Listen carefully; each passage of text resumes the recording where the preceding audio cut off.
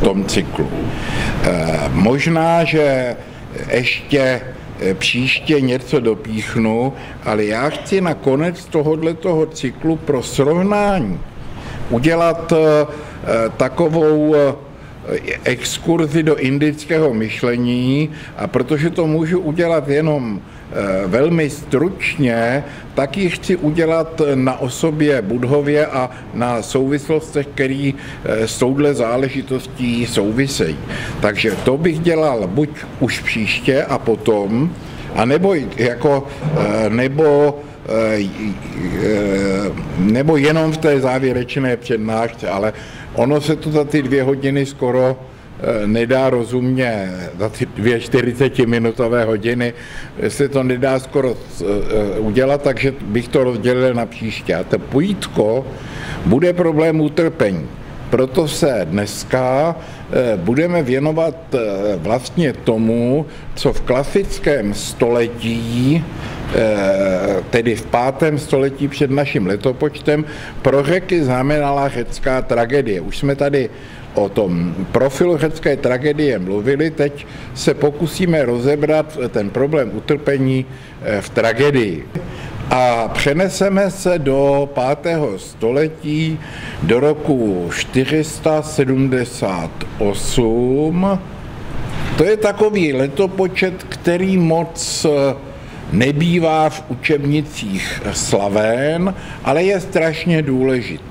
V roce 478 byl pod vedením Atén rok poté, co skončily řecko-perské války, eh, které k triumfálnímu vítězství eh, přivedli Atéňané, tedy rok po bitvě u Platají eh, pod vedením Aten více než stovka městských států vytvořila společenství, kterému se říká buď Delský námořní spolek, to je jeho starší jméno, anebo Atenský námořní spolek.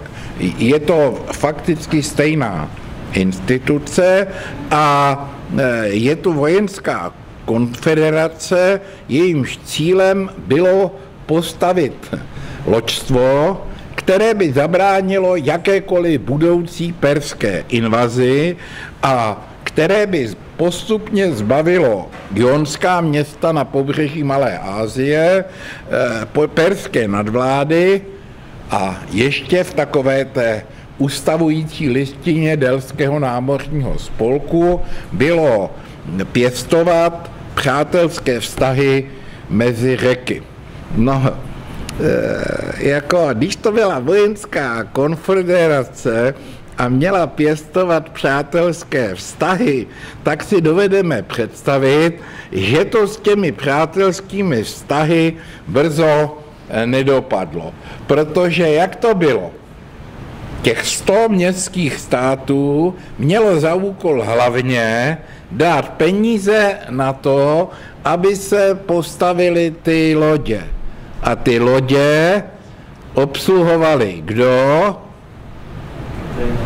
Atéňané. Jo, ty měli pod vládou Atéňané a dokonce na těch lodích sloužili pokud možno převážně Atéňané, neboť si od minulé přednášky pamatujeme, že ten geniální nápad Temistoklův udělat z nemajetných občanů veslaře a dát jim plná atenská práva a tudíž zajistit jim obživu, nejenom politickou eh, nezávislost, eh, jako eh, jo, ten skýtal mnohým Ateňanům možnost, že když nic lepšího neseženou, jako, skoro by se dalo říct, že ta analogie s dnešním světem by mohla být taková, že když všichni nezaměstnaní eh, akademicky vzdělaní občané moderního světa eh, by uplatnili své práva po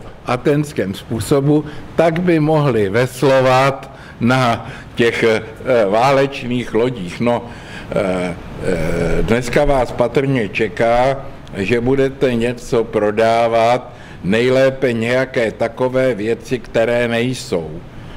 Jeden z našich absolventů, můj velký oblíbenec a velmi schopný člověk, se teď živí už řadu let velmi dobře tím, že prodává, vol, prodává a nakupuje ve světovém měřítku volné minuty pro mobilní telefony. To je biznis. Jo.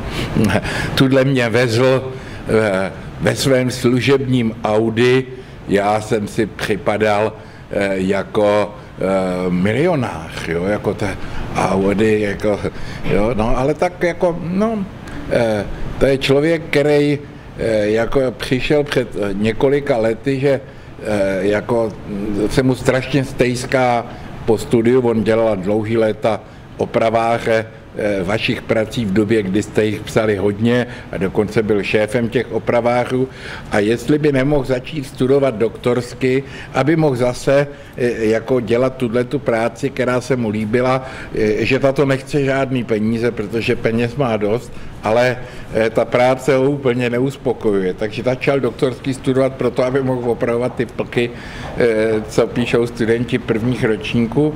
A jo, jenomže se pak ukázalo, že přeci jenom eh, jako ta práce je té povahy, že když v Uruguayi ty minuty e, zlevněj, no tak se musí hned letět do Uruguaje a oni se pak z té Uruguaje prodávají do Kambodži, nebo já nevím kam, jo, a e, tudíž jako nejlepší je, já nevím, jak oni to dělají, ale možná, že si to musí pro ně jít, ty minuty si nějak naloží do tašky nebo co, nebo je pošle v nějakém balíku e, tím kyberprostorem, ale důležitý je, jak, jak teda mě složitě vysvětloval, že bohužel to nejde udělat tak, aby seděl někde, opravoval ty referáty a udělal klik, klik, klik a minuty by uletěly z Uruguaje do Japonska nebo do Kambodži nebo kam. Jo, takže to pak musel nechat, protože ono to přeci jenom i při těch leteckých spojích takhle, takováhle zajížka, ono to zabere 14 dní. No a studenti si stěžovali, že referáty nejsou opravované. Ono, když je člověk v Bangkoku, aby tam ten volný čas trávil tím, že bude klepat do počítače, to taky nemůže nikdo na někom chtít. Ale Atenský námořní spolek vedl k tomu, že atenčtí spojenci se odcitli pod tvrdou botou eh, atenské vlády, ty daně, které na ně Atéňané, kteří, jak víme, žádné daně, atenčtí občani žádné daně neplatili, akorát když byli zvlášť bohatí, padla na ně leuturgia, takové nebo onaké podoby, ale všichni spojenci daně platili jako mourovatý. Říkali jsme si, že eh, ta skupina lidí, která dá dohromady prostředky na pořízení jedné válečné triéry, se jmenuje třída, klas eh, latinsky nebo řecky. A vy jste také chodili za našich časů se ještě říkám, chodím do třetí A klasy. Jo. A tohle to slovo, my jsme říkali klasy proto, aby jsme nemuseli říkat odporné marxistické slovo třída, jo, které v té době bylo eh, jako na vrcholu slávy. A to, že se říká, že někdo je klasik, je, eh, tím se myslí, že on je třída. Jo? Kdyby se to doslova přeložilo, tak bychom řekli klasik Alois Jirásek, loď Alois Jirásek. Ono taky ty lodě se potom podle klasiků e, jmenujou jo, v různých námořnictvech a takovýchhle zařízeních. Jednotliví členové tedy přispívali loděmi a výzbrojí a souhlasili s tím, že se každoročně setkají na délu jak jsme si říkali, na délu se nesmí přespávat do dneška a tudíž to zasedání bylo důsledně jednodenní. Eh, pokladnice toho Delského námořního spolku, to je takový jako nejvíc na hlavu, eh, byla umístěna na délu, kde nikdo nebydlí. To znamená, tu pokladnici by z našeho pohledu mohl kdokoliv snadno vykrást a vyloupit, ale za celé dějiny se to nestalo, protože Délos je ostrov zasvěcený Apolonovi a Artemidě a rozhádat si to s takhle mocnými, navíc v případě Apolona mstivými eh, bohy se žádní piráti eh, neodhodlali a říkal jsem, že loď, která, kterou posílali Atéňané každoročně eh, jako teoreju, tedy teorii, teoria, říkal jsem, je původně cesta na místo zasvěcené Bohu. A když se v řečtině použije to slovo teoria bez předmětu, jo, tak to znamená, že to je cesta na délos. Jo? E, proto e, dejte na to pozor a nedopouštějte se nedopatření. Každý rok jezdila teoria, tedy ta loď, vyzdobená speciálními plachtami, Eh, na Délos, to trvá tam a zpátky eh, na těch eh, antických plavidlech to trvá měsíc. Během toho měsíce odsouzený Sokrates nemohl být popraven, neboť v této posvátné době nesmí atenský stát někoho utratit. To je důležitá součást té sokratické legendy. Eh, tahle ta loď měla ty plachty kvůli tomu, aby piráti zdaleka viděli, že to je loď, která pluje na Délos a že je ten největší kravina takovou loď přepadnout. Jo? To by se mohlo taky zavést. Zároveň si v Řecku nikdo nedovolil udělat takovou napodobeninu té lodě a předstírat, že jako jede na Delos, ale jel by normálně a byl by krytej proti těm pirátům, protože úvaha je jasná. To by se Apollon naštval a dohodnul by si s Poseidonem, že taková místní lokální bouře by mohla trefit právě a akorát jedině tuhle tu loď. Eh, v rodišti Apolonově tedy se scházeli a, a očekávalo se, že odkejvají Ateňanům, Eh, jak si oni představují, že budou vypadat ty daně na příští rok. Když se to někomu nelíbilo a e, příliš rencal nebo se dokonce pokusil e, vojensky vzdorovat, tak s ním udělali krátký obrodný proces a jo, pobořili mu hradby, prodali obyvatele do otroctví a šup.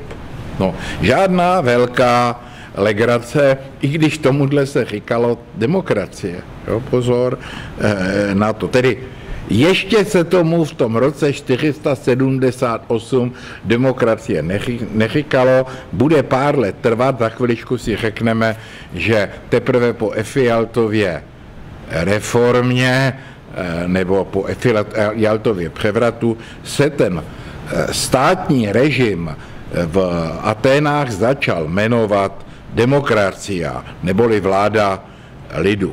V roce 477, to znamená rok, fungoval ten, ten delský námořní spolek a už se to báječně osvědčilo.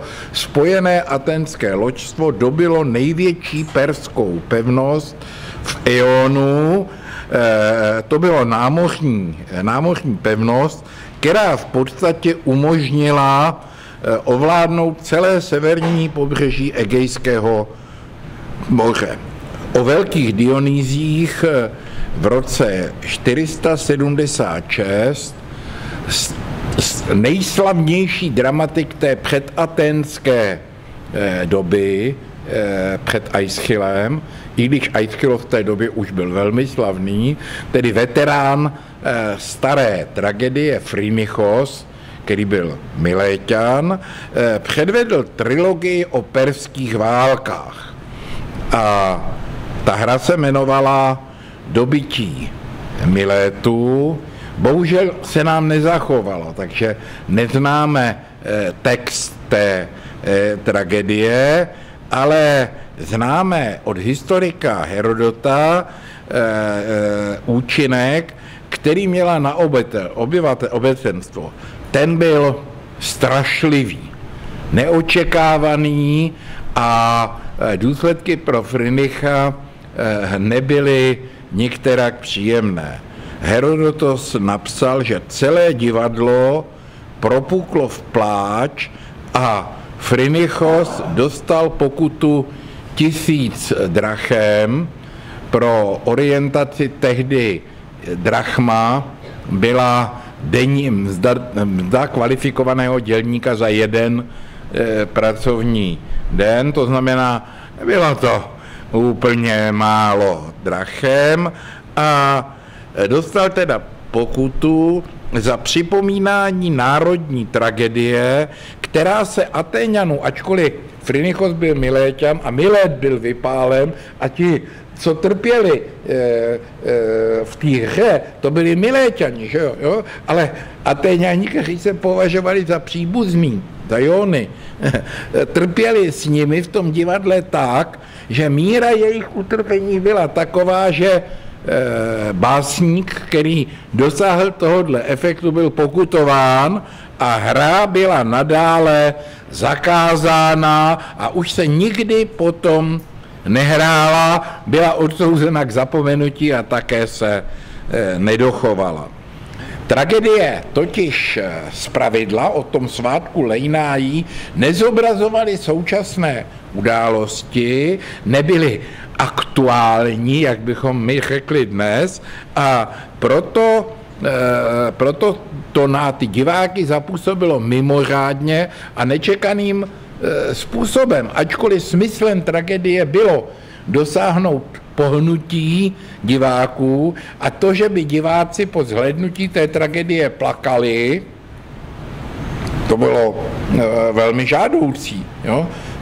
plakali nikoli nad sebou, ale nad těmi hrdiny, kteří se dostali do té eh, jako nemožné situace, že ať udělají, co udělají, vždycky to bude vést k tragickým důsledkům, buď těm, eh, nebo o něm. Jenomže diváci, ten základní pocit, který měli mít eh, diváci v atenském teátru, byl, že je dobré nebejt hrdina. Dokonce, že je dobré nebejt herec, protože konec konců ty herci sice netrpějí, jo? jako ty jsou v maskách, ty hrajou někoho, ale ti hrdinové, to nejsou my z nás. My jsme rádi, že nemusíme být hrdiny a to je základní smysl katarzis.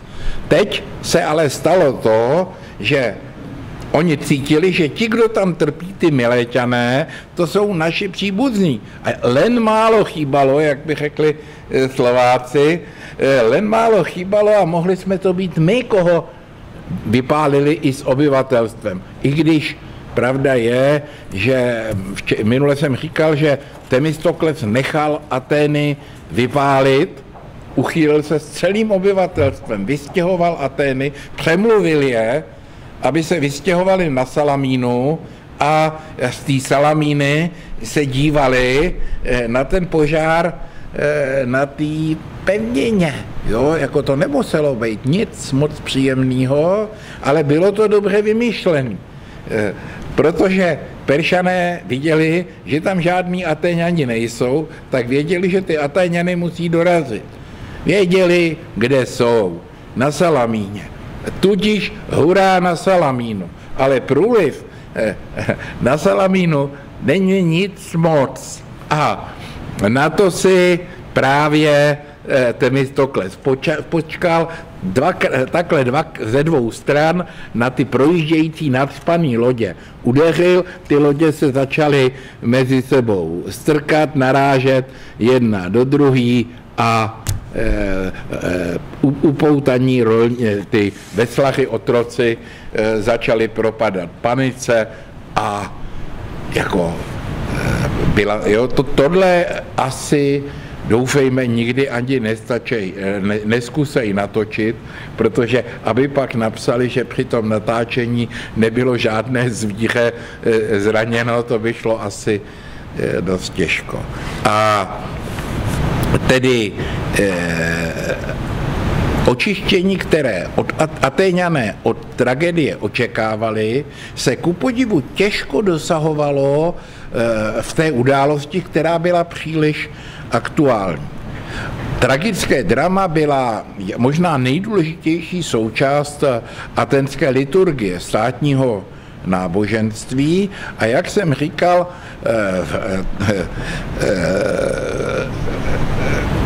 eh, eh, eh, té knížce, z které přebírám tuhle tu událost od Karin Armstrongové je spousta chyb, takže budete-li hledat, tak mějte s autorkou, možná s překladatelem. Tak on říká, tam tady se píše, že na jevišti se ocitla celá atenská polis. Co tam má být? No v hledišti, v hledišti, ne na jevišti. Jako celá atenská polis by se na jeviště nevešla a kdybyste tam vešla, jak by si poradila s otázkou, že herci eh, byli v té době jenom dva, protože teritoagonistu zavede teprve Euripides a ten ještě, ten ještě v školním věku. No ale eh, tak takový chybky se vlouděj. Dramatici si vybírali náměty, které stvar, stvár, stvár, stvárnili nedávné události, ale ty události byly podávány v mýtickém hávu, jako by se odehrály v dávné eh, minulosti. Říkali jsme si, že básník má v Řecku obrovskou autoritu, protože on může měnit mýtus. Jo? A také jsme si uváděli některé příklady a budeme si je uvádět, kdy velcí básníci mýtus cíleně měnili, ale oslavy e, byly založeny na meditaci, e, analýze a úvaze, reflexy o těch záležitostech. Řecká filozofie by nevznikla bez řecké tragédie a v jakémsi smyslu vznikla z ní. Říkal jsem, že máme tři formy dialogu toho režimu dialegestaj, vzpomínáte si, co jsem tady říkal. Řekové objevili dva nové režimy řeči. Pamatujeme se na to? Jeden se jmenuje Pejtejín, to bych si já být váma pamatoval, protože ono to skoro nikde není. Pejtejín znamená přesvědčit někoho. A tímto režimem, kterém mluví jeden řečník k mnoha řečníkům, tím se konstituje nový žánr, kterému se v Řecku říká politika. Řekové vymysleli to, čemu my dneska říkáme po jejich způsobu politika. Ten druhý režim řeči, který Řekové objevili, ten se jmenuje dialegestai a má tři formy. Nejstarší formou dialegestai je tragedie, mladší jenom o málo je komedie a třetí, finální fázi, ale všechny ty tři fáze vznikly v jednom století, v pátém století. Jo? Tou třetí formou dialogu je filozofie. Ano, založená Sokratem a Platónem. Ten režim dialegestaj není založen na tom, že by jeden přesvědčoval ty ostatní, ale je založena na tom, že spolu mluví dva a ti spolu mluví tak, že se metodicky eh, zavazují, že nebudou do toho rozhovoru dialegestaj tahat svý stanoviska a eh, svý zájmy, že jakoby dají ten dialog do závorky, řekli bychom si filozoficky s Edmundem Husserlem, a to proto odřeknou se prosazování svého stanoviska oba, a to proto, aby vystoupily principy, které nejsou založeny ani na tom, co si přeju já a co si přeje ten druhý. Proto ten, kdo se v dialogu ptá toho druhého, jo, jako, proto je strašně důležitý, aby základní dimenze toho dialogu byla založena tak, že nejprve musí ten, koho se na něco chci ptát, potvrdit, že to, co já předpokládám, že on si myslí, on také, on potvrdí, že on si to opravdu myslí. Do dneška na starých univerzitách a na univerzitách, kde ještě vládne univerzitní duch, tohle je předpoklad takzvané univerzitní disputace. No, když se eh, když probíhala nějaká disputace na středověké univerzitě, zejména nej, nej rozšířenější a nejslavnější středověká disputace se jmenovala Quodlibet, neboli což komu libo. Jeden učitel za semestr se nabídl, že provede kvotlibetní disputaci.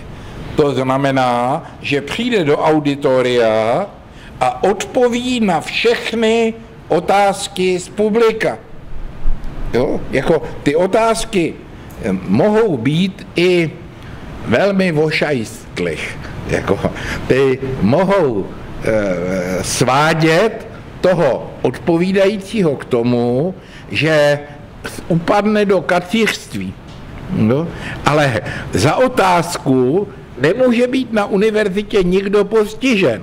To znamená, ten tázající se může se ptát provokativně, ale ten odpovídající si musí dát pozor, protože odpovídající, jak praví v češtině to slovo, sloveso odpovídati, odpovídá, tedy je odpovědný za to, co řekne. Jo? Také eh, když vám eh, policajt řekne, že eh, vás obvinuje, a teď musí říct z čeho, jo, tak řekne, abyste si dali pozor, že máte právo nevypovídat. Jo? Jako můžete se na toto právo nevypovídat odvolat, protože obvinění směřuje nebo může směřovat vůči vaší osobě, nebo vůči osobě, kterou máte důvodně právo považovat za blízkou. A kdo je osoba blízká, to je taxativně v příslušném právním řádu e, vybudováno. Oblíbená strategie disidentů v diskuzi s e, státní bezpečností, pokud byla vedená správně z hlediska toho postiženého disidenta, vzněla jako ať se zeptají na cokoliv, zeptám se, co vyšetřujete.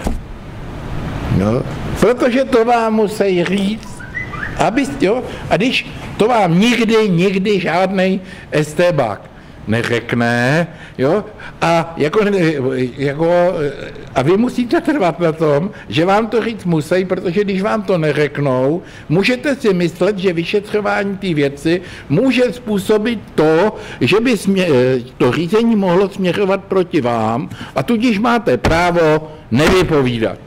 Jo? No, a, a, a hotovo. Kdo tuhle tu zásadu zvolil, a to není lehký, a, a vydržel to, ten se do žádných potíží nikdy nedostal, teda v budoucnosti.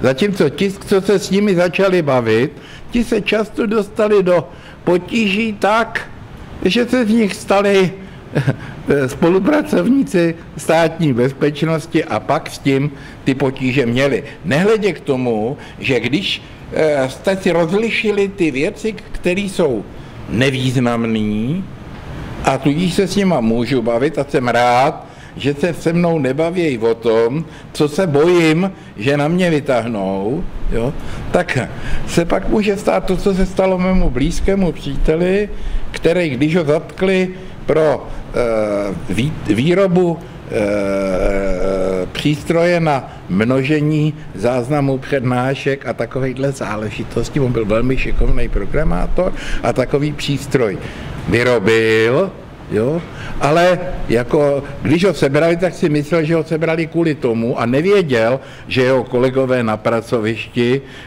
ten přístroj e, skovali a že ty policajti nemají v rukou nic, jo. A tak se snažil uhnout a byl šťastný, že se s ním začali bavit e, o manželce, která emigrovala a odvezla mu e, syna, e, protože byli rozvedený do Eh, ciziny a on se posléze, protože si myslel, že eh, to celkem nic není, tak se přiznal, že tomu synovi poslal 400 marek. Jo? Což byla hranice, věděl, že to je hranice, která se nejvíc může počítat. Jenomže policajti rozbili kasičky v jeho eh, pokoji a zjistili, že tam má v drobných e, za cesty do Polska, do NDR, jako nějakých, já nevím, e, 40 drobáků, který ovšem, e, to, se, to byly také devizové prostředky, které si člověk koupil a spočítali, že to teda je celkem 440 nebo kolik, nebo 20 marek, tedy přes tu hranici a dostal půl roku. jo. No, jako nikdy se to, že oni nic nemají, se nevytáhlo. Jo. To je zrada toho režimu řeči dialegestaj, kterou si člověk musí uvědomit. Když se, jo, když se obě strany neodřeknou toho, že budou prosazovat své zájmy, tak to vůbec není dialog. V dialogu tedy člověk eh, vlastně nesmí chtít zvítězit, musí se snažit, aby zvítězily ty principy. Těm principům se v sokratismu říká ideje, a když ty ideje nazřeme, tak budeme vědět, podle čeho se v té diskuzi máme řídit.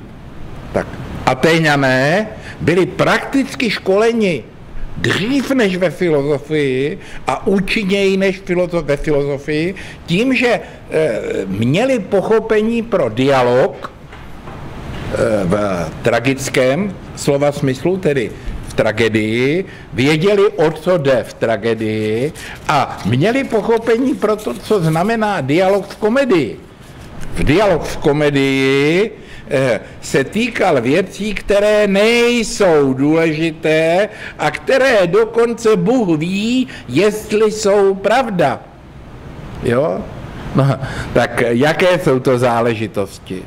No například to, jestli dotyčnému Skočdopolisovi, eh, eh, to je eh, řecké jméno, které si kdysi zvolili Voskovec a Verich, pro osel a stín, jmenovali se tam Skočdopolis a Nejeschlebos. Jo? A, a, že jestli Skočdopolisovi zahybá manželka s Nejeschlebosem, jo? Eh, a jo, to jako teda konec konců může být každému jedno, ale to, že si je někdo paroháč, jo, to, já nevím, dneska už to asi velkou roli nehraje, ale ve všech předchozích fázích vývoje lidské společnosti v té naší tradici, to je minimálně důvod k tomu, aby se ostatní smáli a ten, koho se to týká, aby se cítil naštvaný. E, jo? No, e, mimochodem, slavné erizma, e, Eh, řecké z 5. století je erizma rohatce, jo? Jo? tedy paroháče. Jo? Ono říká, co si nestratil, máš. No? To je dialog. Co si nestratil, máš. Souhlasíš, Bopršálku, souhlasíš, Bergu, Tondo. Souhlasíš s tím, co si nestratil, máš. A rohy, rohy, parohy, si ztratil? Aha, aha. Takže Tonda je paroháč. Jo? Ne, ať řekne jo nebo ne, vždycky je to blbě. Když řekne nestratil, no tak furt ještě je, a když řekne ztratil, no tak byl, jo? Ha, ha, ha. Tak on je naštěstí svobodný, aspoň předpokládám, vybral jsem si tě s předpokladem, že jsi svobodný. Jo? Mm, zatímco kdybych se ptal někoho, kdo je ženatý, tak je to na facku. Jo? No, e, jo, tedy ta otázka, co si nestratil máš, musí být podrobená reflexi. To udělal Aristoteles. Aristoteles z této eristické říčky vytvořil jeden z nejdůležitějších pojmů budoucí tradice, který do té doby neexistoval. To je pojem sterezis. To si můžete pamatovat. Sterezis. Sterezis je kategorie zbavenosti. Sterezis říká, že co si nestratil, eh, jako, jako, eh, jako co si neměl, nemohl si to ztratit. Takhle je to. Jo. Co si neměl, nemohl si to ztratit. Jo? Takže pokud e, uplatníme na ten fenomén rohatosti e, tu kategorii steresis, ona se stane pak filozoficky, vzpomeňte si na to příští nebo přes příští semestr, až se o tom budeme bavit, ona nabíde neobyčejné důležitosti. U Aristotela souvisí s kategorií physis. E, pro physis neboli přirozenost je důležité, že některé vlastnosti jsou physis, ano, to znamená od přírody, jo, a některé vlastnosti od přírody nejsou. V pátém století se řekové dostali do situace, kdy zákony, které je svazovaly, zjistili v důsledku tohohle, toho, téhle diskuze, že zákony jsou jednak typu fízejí, tedy od přírody, a jednak jsou typu nomo. Jo, e, nomo je od, od toho je to nominalismus, jo, od nomo. Nomo je původně pastevní pořádek. Víte, co to je pastva? Jo? To, je, to je řád toho, jak rodiny v určitém dému budou pást svůj dobytek. Jo? Démos je osídlení, řekněme, vesnice, jo? kde mají lidi svý pozemky a kromě těch svých pozemků jsou obecní pozemky. To jsou ty pozemky, které se nechávají v příslušném roce ladem, a když se nechávají ladem, to znamená, že se na nich nic nesází, ale roste tam tráva a na těch pozemcích se pase e, dobytek. A ten dobytek se musí pást v určitém pořádku.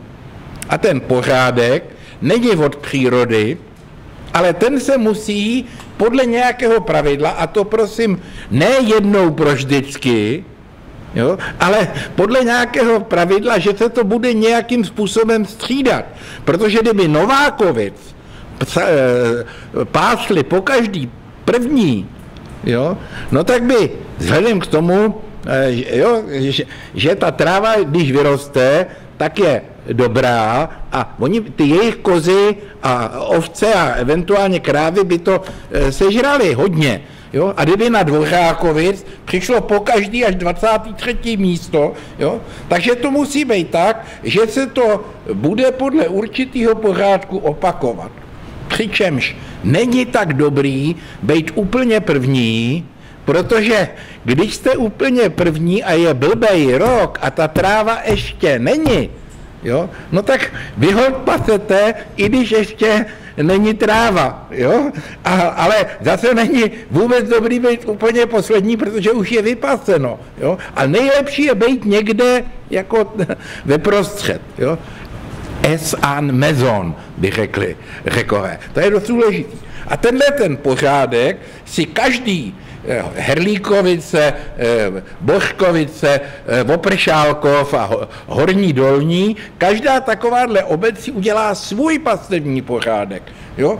Trošku to záleží na tom, jestli tu vesnici tvoří 20 lidí, teda 20 rodin, nebo 200 rodin. To může být. Když jich je 200, tak nemůžou udělat to, že někdo bude pást až jako dvoustej, protože by na něj opravdu nic nezbylo. Ta, to se musí na 10 ten, ten, ten eh, eh, pozemek, který se nechává ladem, ten se musí rozdělit na deset dílů a eh, ty občani se rozdělí do deseti skupin a pasou na těch jednotlivých polích, ale protože ty, ty území nejsou úplně stejné kvality, tak i ty území si musí rozdělit. To vypadá, že to je strašná buzerace. Zákony typu NOMO jsou téhle povahy, musí být Jo? A teď řekové dospěli k pozoruhodnému poznání. Který zákony jsou důležitější? Ty fízejí, anebo nomo? No máte jenom dvě možnosti, tak mi poraďte. Prosím? No oni jsou důležitý jenom ty nomo, ano Toníku, správně, protože o ty se musíme starat. Když se o ně nebudeme starat, tak žádný zákony nebudou. Zatímco zákony typu fízej, o ty se starat nemusíme, Jo, takový můj oblíbený zákon typu fíze je zákon volného pádu. Jo, no, tak jako když porušíte zákon volného pádu v prvním patře, celkem houby se stane. Jo, jako maximálně si podvrknete nebo zlomíte ruku. A když ho porušíte v desátém patře eh, paneláku, jo, tak nebudete potrestáni pokutou 500 korun eh, za porušení zákona volného pádu, ale dole eh, se seznámíte poměrně s tvrdou realitou, pokud je betonová, tak už žádné další starosti eh, nebudete mít. A i kdyby nebyla úplně tak tvrdá, tak jako Eh, ty starosti nebudou na pokutu. Jo? To, to, jak je, to, jak bude ten člověk rozmlácený, jo? to je velmi zvláštní. V nás eh, budili představu, že ty, zák- ty přírodní zákony jsou strašně důležitý. Jo?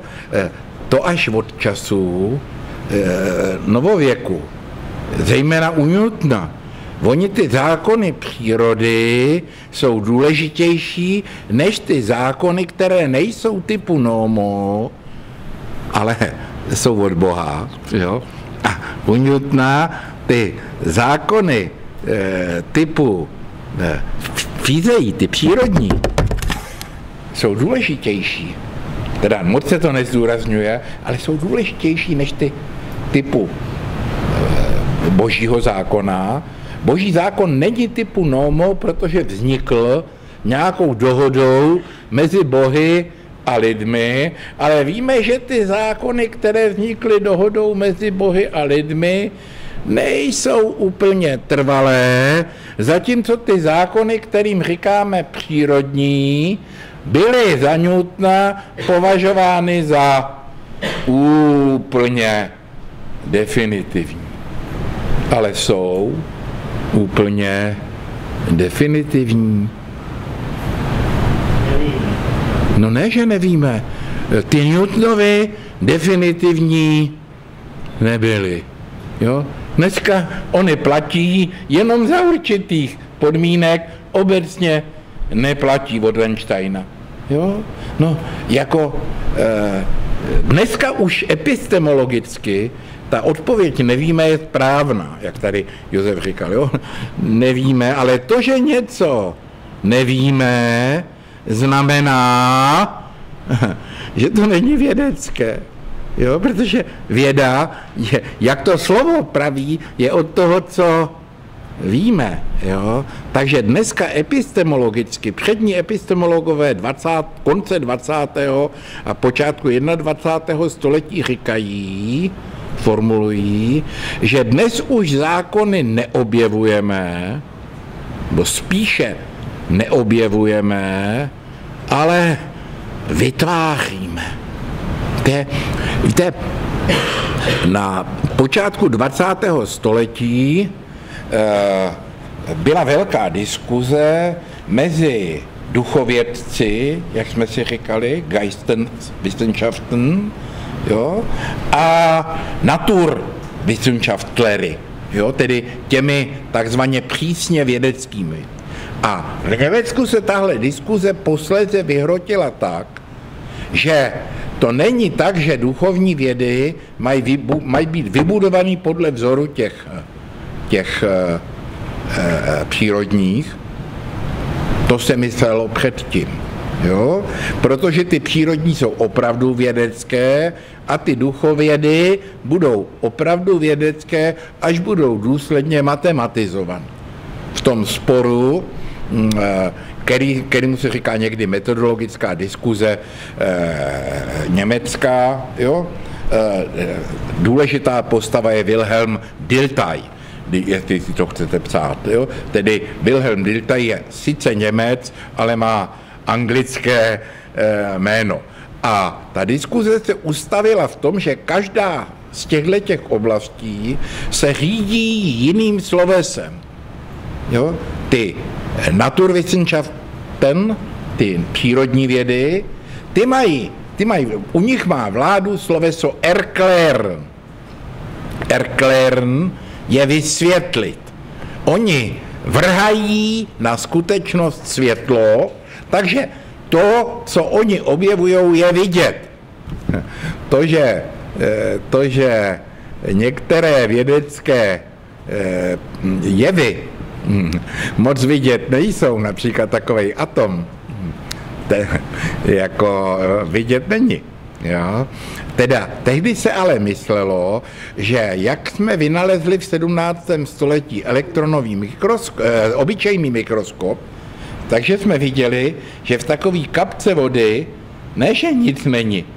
Tam toho je, jo, a podobně, když vynalezneme elektronový mikroskop, tak vidíme i na menších věcech, jako molekuly, elektronový mikroskop už vidí.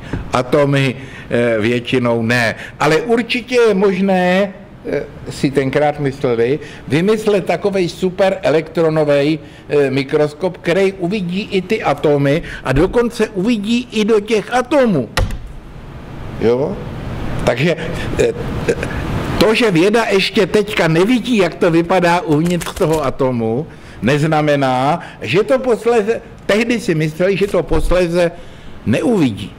Poslední vědecký pokrok, který byl dosažen ve fyzice z hlediska toho, co je názorně poznatelné, tedy co je evidentní, je Bohrův model atomu.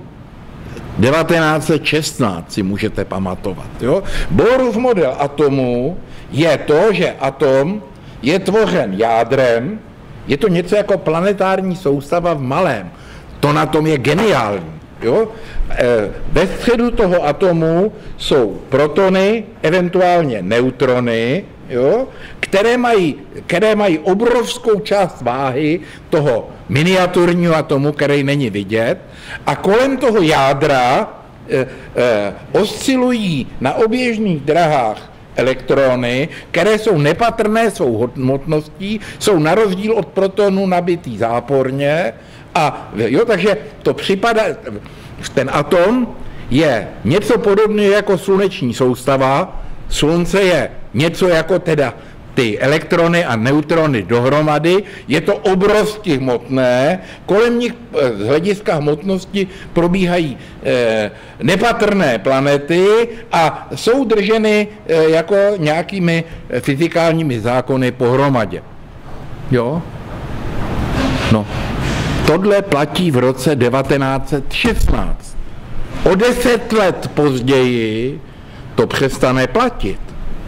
Jo, po, kvant, eh, po kvantové mechanice, po kodaňském výkladu kvantové mechaniky, na základě experimentu Louis de Broglieho, který přišel na to, že ta nepatrná část tečka, která oblítá kolem té velké hmoty protonů, ten elektron, že on není ani eh, vlna, ani částice.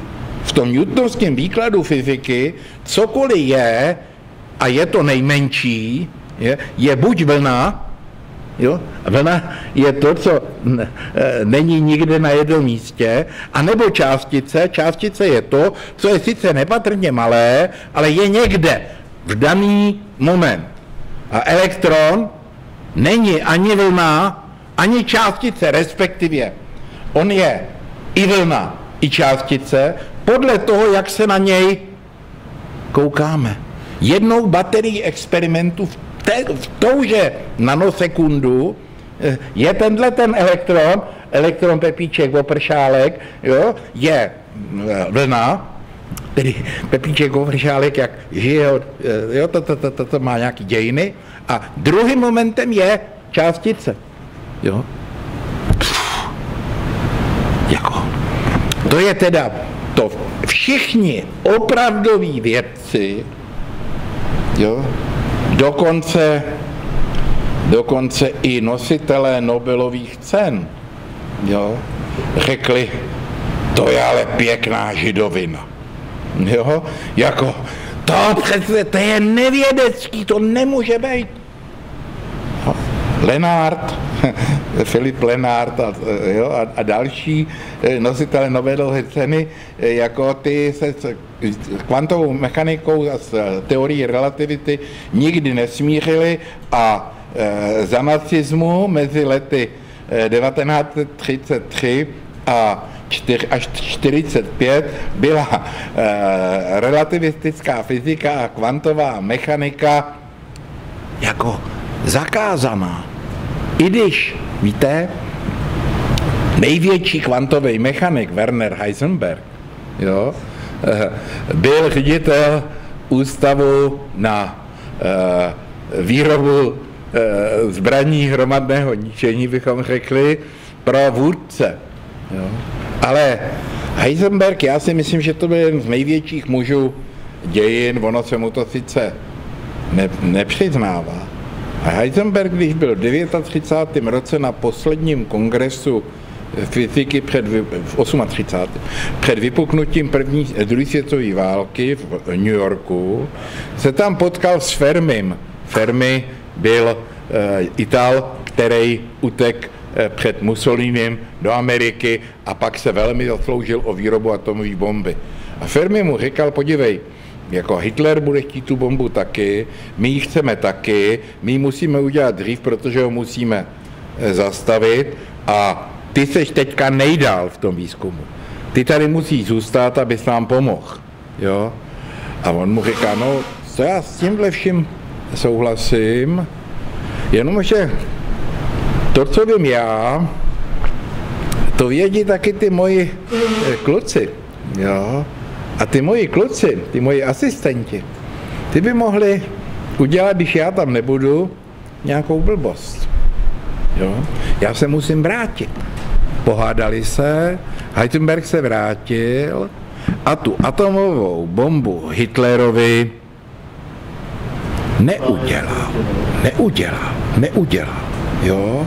A dokonce přesvědčil vůdce, že to, co on objevil, to štěpení uranu, že to je báječná věc, která vyhraje válku, když se z toho udělá pohon pro tanky. Jo, Milánkové. Vůdce mu to sežral. Jo? Teda pokud eh, jenom trošku se vyznáte ve válečné technice, tak eh, si spočítáte, kolik tanků od té doby už jezdí na atomový pohon. No doufám, že všichni víte, že žádnej. Ta věc je blbost ve své podstatě. Jo? Ale eh, Hitler mu to, jo? a oni to až do konce války hledali. Jo. To, že si dneska většina historiků vědy myslí, že Heisenberg, tenhle ten genius, jo, byl tak blbej, že by to nevěděl, to mě popuzuje. Jo. No, mimo jiný, ty jeho mladí kluci si na něj podali stížnost vůdci, je, že dělá blbost, že se to ne, nemají dělat ty tanky, ale, ale že se z toho má udělat bomba. Jo. No a Hitler se, eh, se zeptal Heisenberga, co si o tom myslí. A Heisenberg se zachoval jako rozumný německý profesor. Řekl, že ty pitomci ničemu nerozumějí a poslali na frontu. Tomu po válce hodně přitížilo. Oni sice ani jeden nepadli na té frontě, ani na tu frontu nedojeli, protože si je najmul německý ministr pošt pošt, jo, aby tu bombu udělal vůdci k narozeninám. Jo. A když američtí eh, eh, fyzikové eh, eh, hledali, kde Němci dělají tu bombu, jo, tak eh, jako s hrůzou zjistili eh, nejdřív, padli na to ministerstvo pošt a zjistili, že oni jsou prakticky jako takovýhle kousíček od konce, od cíle. A říkali si, jestliže na, na, už na poště mají tu atomovou bombu, Heisenberg už má vodíkovou, nebo to, to, to jo? jo? A jako začali zuřivě hledat Heisenberga a když ho pak našli a ty jeho lidi, tak zjistili, že oni ještě furt uh, uh, jsou těch tanků. Jo? Heisenberg nedostal žádný vyznamenání za tohleto. Jo? Naopak e, za to, že e, ty hochy e, skrouhnul, měl zakázanou činnost po nějakou dobu a jo, jako, no, ale Heisenberg je objevitel principu neurčitosti. Ten teoreticky vyvodil z téhle věci závěr. No a teďka teda, tohle všecko, tohle vám tady, neměl jsem to v úmyslu, ale, ale e, jako jsem rád, že jsem vám to řekl a e, teda v publiku jsem viděl několik obličejů, pro které to bylo e, velmi významné. Tadyhle pan kolega je úplně ten nejdůležitější. Kvůli vám jsem to celý dopovídal, protože jsem viděl, že do vás to padá jako teda. Jo, tam to bylo na pravým místě. Tohle všechno začíná u toho tragického dialogu.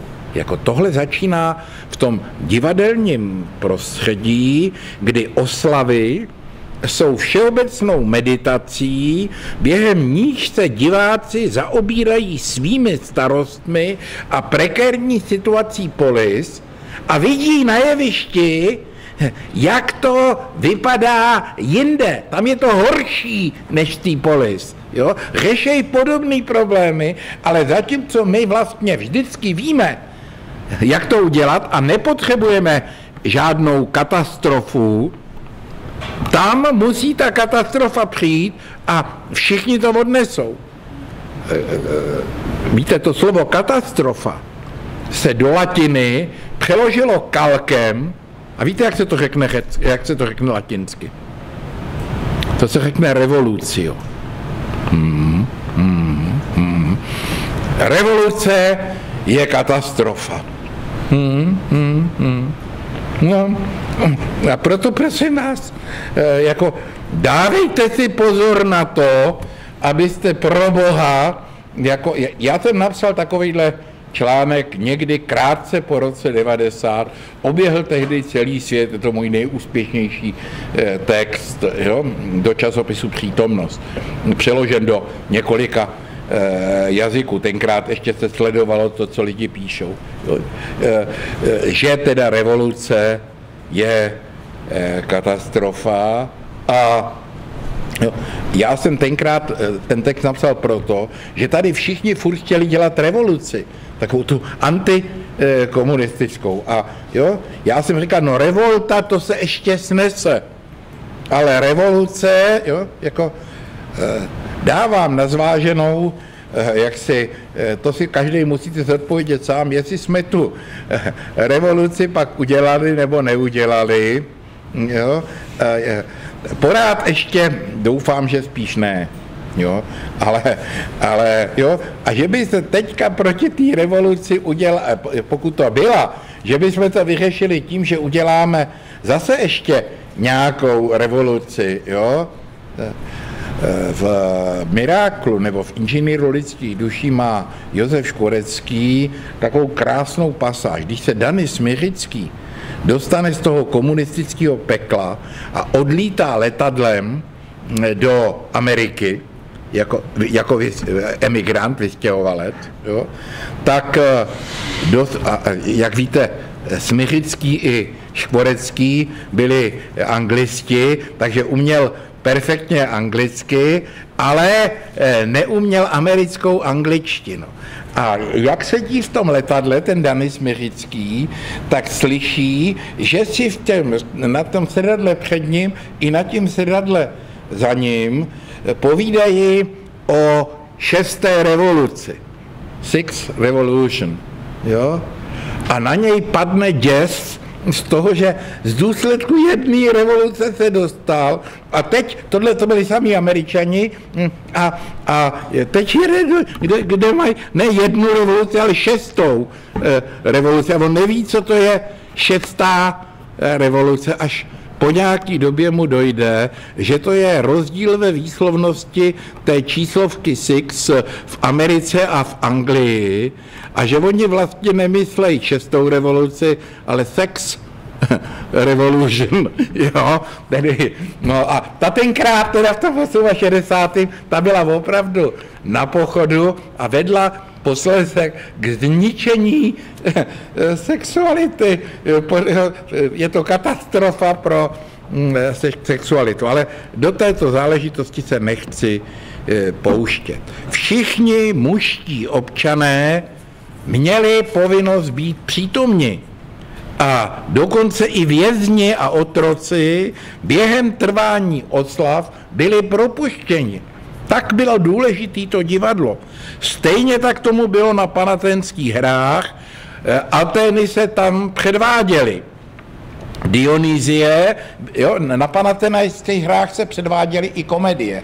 E, Dionýzie byly mohutným představením občanské hrdosti. Členská města směla vyslat delegáty, jo, tedy e, zástupce na to, aby se mohli zúčastnit těch, těch oslav. Ovšem za to, že tam mohli ty delegáty poslat jako museli zatraceně zaplatit, ale ti, kteří na to měli, to považovali za velmi dobrou investici a e, e, občané byli věnčeň, ověnčovány, jo, jako při příležitosti těch. Ti slavní, kteří byli, to bylo jako když dává Zeman e, ty metály e, na hradě. Děti vojáků, kteří zahynuli ve službách vlasti pochodovali v procesí a slibovali, že eh, tak jako tatínek a dědeček eh, budeme bojovat a padneme eh, za vlast. Nebyl v tom žádný povrchní šovinismus, občané dávali průchod, žalu, plakali nad těma padlejma vojákama a tento nový žánr který má, jak jsme si říkali,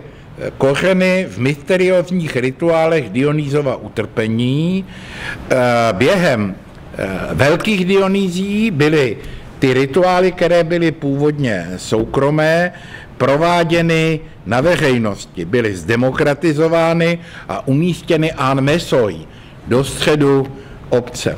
Já jsem tady říkal o tesmostérích, jo? To, je ten, to, je, to jsou demo, dionýzovské oslavy, eh, vzpomínáte si na to, eh, který se konaly soukromně, jo? Eh, v době mladého vína. A úkolem tohohle toho svátku bylo, že každý si musí v samotě nalejt žejglík minimálně dvou litrů vína, a o samotě ty dva litry vína prostě musí vyžahnout. A když je vyžáhne, tak teprve eh, se začnou dít ty oslavy. A ty jsou dosti krušný a jo, částečně se vyvádí, může se i eh, jako eh, páchat násilnosti a pokud to zvládnete i sexuální orgie, ale ono s dvouma litrama vína v těle, žádná, to si vyzkoušejte, jo, žádná velká sexuální sláva nebude. A tedy e, postupně se zavádějí, jak jsem to říkal, v, v tragedii další postavy. Tragedie se stane tím, čím je v Aténách zavedením toho prvního herce, toho protoagonisty. Jo. To udělá Aeschylus. Jo. A, a, druhýho herce zavede e, Sofokles třetího Euripides. Tyto nové postavy promlouvali s hlavou chóru a poskytovali mnohem dramatičtější naléhavost pro celé jednání. Jo, jako předtím, když byl jenom jeden herec, ten herec musel mluvit jenom s chórem. Jo? A e, to je základ toho dialogu. Jakoby se vlastně ukázalo, že ten režim Pejtejín, ten to, Aeschylus udělal to, že z toho dramatického diskurzu jakoby zkusil udělat ten režim pejtejín, politiky, přesvědčování. No, říkali jsme na začátku, je přesvědčování chórů toho hrdiny, dojdou v průvodu na jeho hrob, on za ně padnul a oni ho nechali v rejži. A oni ho prosí, aby se vrátil do té obce jako hrdina, aby ho mohli pohřbít u toho chrámu eh, v tom hrobě neznámého vojína. Na rozdíl od Karla Kryla, on jim neříká, jo, co tady čumíte, zkoušíte vzdechnout, jo, a ty si myslíte, že jsem chtěl vzdechnout, jo. Ne, ne, on e, dlouho mlčí, ale pak se nechá ukecat a tím hrdinou se stane. To je ten začátek. Ale e, Dialog se z toho zrodí teprve tehdy, když do toho vstoupí deuteroagonista a tritoagonista, který vytvoří další možnosti toho děje a ten děj se zaplete.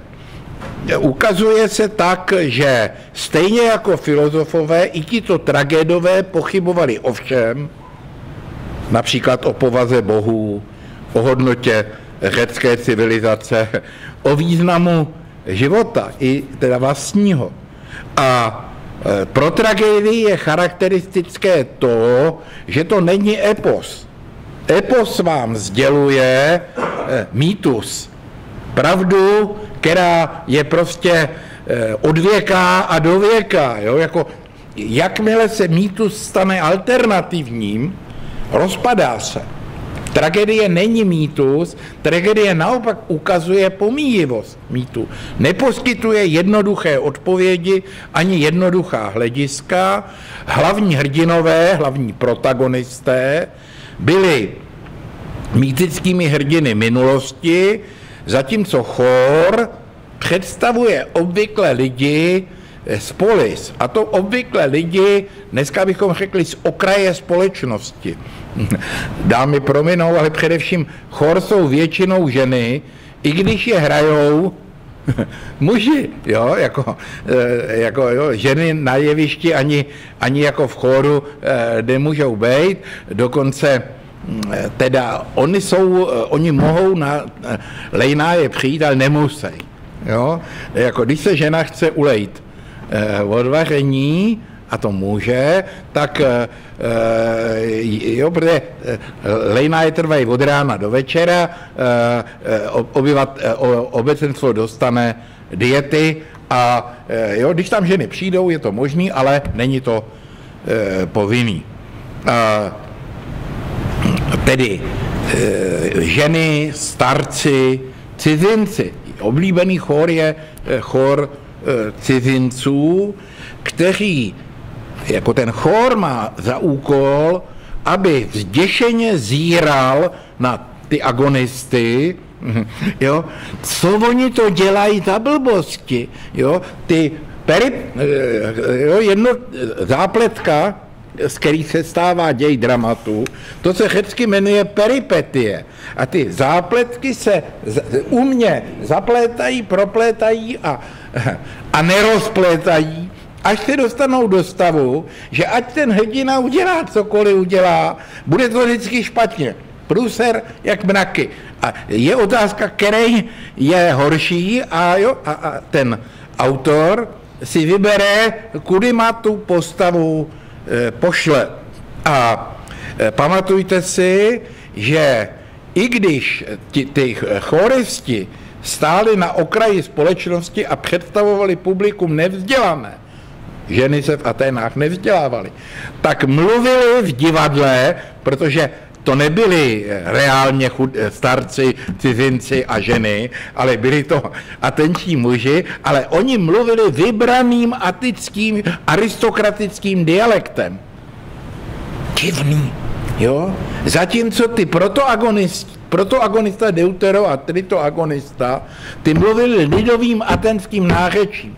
Aby ten, aby ten, jak to napětí, e, bylo silnější to v dnešním eh, provedení eh, skoro jako si nedovedem představit, ale někdy se toho v těch inscenacích antických užívá.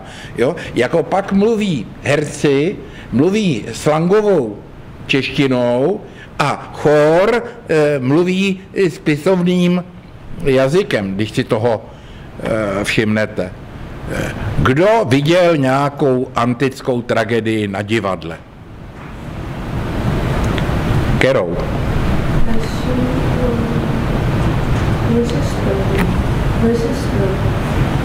Lysistratos? No to není tragédie, to je komedie. Jo? Jo? E, to je taky užitečný, ale to není tragédie. Helejte, do téhle věci bejt váma bych drobet investoval. Jo? Ono to není, dneska si koupit lístek do divadla není žádná sranda. Když si vzpomenu, že jsem studoval obor divadelní věda kvůli tomu, abych dostal mm, průkazku, že můžu chodit zadarmo do, do všech divadel, když je volné místo, protože se mi nechtělo platit těch 10 korun, který stál lístek. Dneska, když mám si koupit lístek, on stojí 8 stovek nebo i víc, tak to já bych si uradil ruku. Jo, jako, ale těchto, těchto 8 stovek bych na vašem místě dal e, za třeba to, vidět dobře udělaný e, adaptace těch velkých dramatiků, to stojí za to. Oni většinou to jsou vzdělaný lidi a neblbnou. Jo. Někdy blbnou, jo, ale, ale i to blbnutí je často zajímavé. No, tedy docházelo k významnému střetu pohledů na svět a důležitý je vědět, že v antické tragedii ani hrdina, ani chor nevyjadřují tu správnou pravdu. No není tak, že jeden nebo druhý má pravdu. Pravdu mají oba. Každý má tu svou pravdu, každý má nějakou pravdu, ale která je ta správná pravda, to musí jako pochopit ten divák. A ten divák jako katar se spočívá v tom, že on zjistí, že ani ta, ani ta, jo, ale líp je nebejt tím eh, hrdinou. Jako, eh, jo. Ještě, že máme jenom eh, potíže jenom takový, jako máme s těma našema hajzlama, politikama. Jo. Kdyby jsme měli ty potíže, které měli ty mýtičtí, jo, dej, pán Bůh chraň a zlý pryč. Diváci museli zvažovat, jedno hluboké poznání proti druhému hlubokému poznání, tak jako to museli dělat v radě nebo dokonce i na lidovém schromáždění. To je velmi důležité. E, můžeme říci, že tragické divadlo naučilo Atéňany vidět sebe sama ve srovnání s ostatníma a umožnilo zahrnout do sympatií i ty, jejichž stanoviska se výrazným způsobem odlišovala od těch aténských stanovisek. A to proto, že tragédie přenesla utrpení na jeviště. Nedovolovala obecenstvu zapomínat na to, že život je dukha. To není řecky, to je sanskrt. Jo? To je Buddha. Bu, bu, bu, Buddha e, říkal, že nejhorší na celém životě je to, že ve skutečnosti je všechno utrpení. Vzpomeňte si, on to byl synáček z královské rodiny a rodiče se postarali o to, aby měl život jak v bavlnce. Ale když to prohlídnul, tak dospěl k naprosto neřeckému poznání. Jo? Udělat cokoliv, ale zrušit utrpení. Jo? Kdybychom, řekové by odpověděli, Aeschylus by odpověděl, kdybychom zrušili utrpení, život by stál za hovno. Jo? Teda, e, promiňte mi to e, zprosté slovo, Aeschylus by ho použil asi taky. Jo? Hovno nebylo ve staré řečtině e, moc prostý slovo. Jo? Bylo fízej. Jo? Ale u nás má metafyzický e, význam a proto je prostý. Ale, ale e, jako Představte si to úplně vulgárním způsobem, tak jak to řekové viděli. Kdyby jsme vůbec neměli žádný utrpení a byli by jsme porád šťastní, to by byla taková otrava.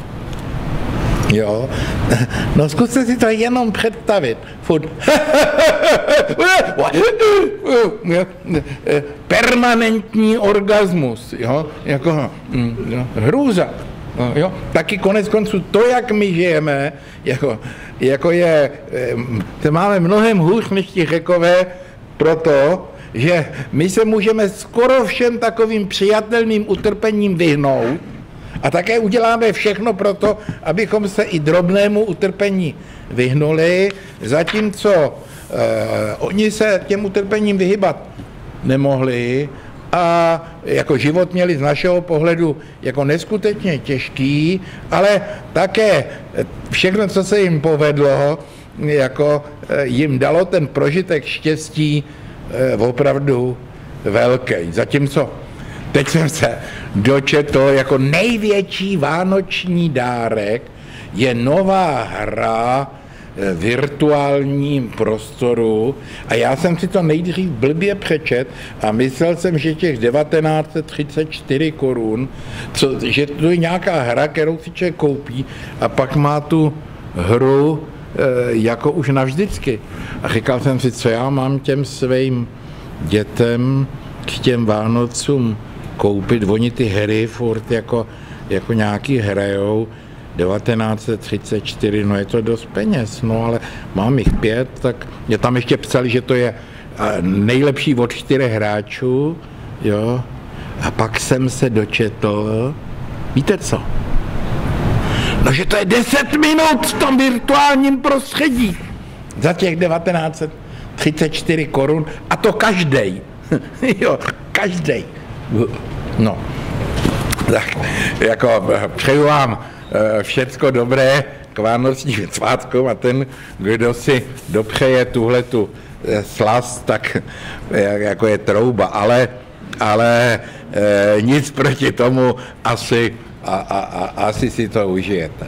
Skončím tím, že já jsem říkal, že smyslem tragédie je zahrnout pod sympatia i ty, kteří mají jiný stanovisko, kteří jsou jiní než my.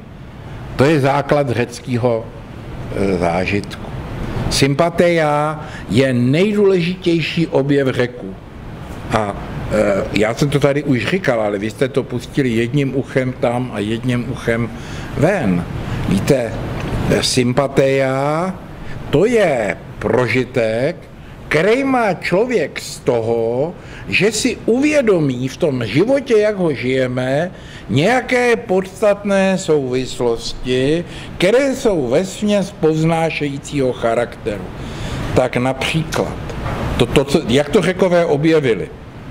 Řekové to objevili tak, že je souvislost mezi měsícem a příbojem ten příboj, to moře, se pravidelně zvedá vlivem, my bychom dneska řekli, vlivem přitažlivosti měsíce, ale na to my jsme nepřišli. To do nás pracně vtloukají v průběhu e, školní e, docházky a stejně, když se pak ocitnete u nějakého moře, kde ten příboj má docela jako význam, jo? ono ve středozemním moři příboj to, to, je, to, to skoro nehraje žádnou roli. Už skončím, ano. Uh, jo, u Atlantického oceánu obvykle si člověk uvědomí, co to je příboj, když někam vleze a najednou zjistí, že za chvilku bude pod vodou. Uh, uh, Příliv, ne příboj. Příliv, co jsem to řekl, příboj, ne, příliv, jo, jako všecko zpátky jsem blbej. Ano, příliv, příliv samozřejmě, jo, příliv a odliv je vlivem měsíce. Ale co víc, ve vašem těle, milé dámy, je něco takového jako příliv a odliv a to taky sem patří ta hra mezi tím měsícem a mořem nějakým způsobem zahrnuje lidstvo a to možná tím nejdůležitějším způsobem v životě. Život by nebyl. A řekové si založili, si pomysleli, na jakém principu je založena ta sympatia. A ono, když, když to přeložíme do češtiny, to slovo sympatia, je se zalíbením na sebe patřiti. No to je sympatia. Se zalíbením patřiti jeden na druhého. A kdo tak na sebe se zalíbením patří původně? Podmět a přísudek v řečtině.